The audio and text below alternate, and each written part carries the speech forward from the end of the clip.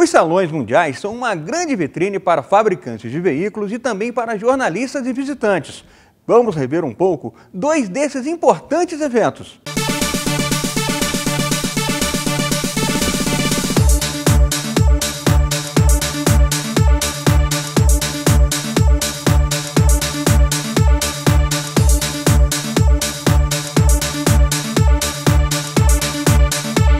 O ano começou aquecido no inverno de Detroit. O Salão Yankee, que abre a temporada dos grandes eventos mundiais do segmento automotivo, trouxe boas novidades.